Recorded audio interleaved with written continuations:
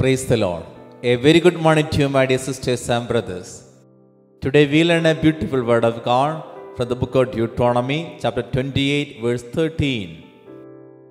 The Lord will make you the head and not the tail.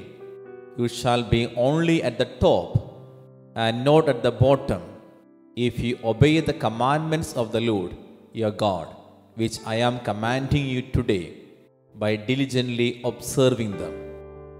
My dear sisters and brothers, Yahweh is promising to the people of Israel if you are following the precepts and the commandments of God, surely He will make you the top and he, you will be a blessing.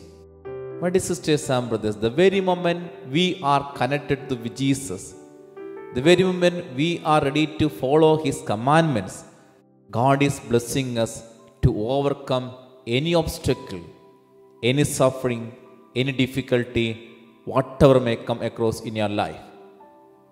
And as God said, be close to the vine, and surely you will be producing good fruits as a good branch. So, my dear sisters and brothers, let's take a decision to follow His precepts, live a life according to the will of God. We claim this word of God and we offer ourselves and we pray. Thank you, Jesus, for a new day. This is the day that you have made, and we will rejoice and be glad in it. Great is your faithfulness and your steadfast love, O Lord. I give this day to you and ask that you use me however you see fit. This day is yours. Everything that I am is yours. Be at my side and take control over the affairs of my life. You are the God of the impossible, and there is nothing you cannot do.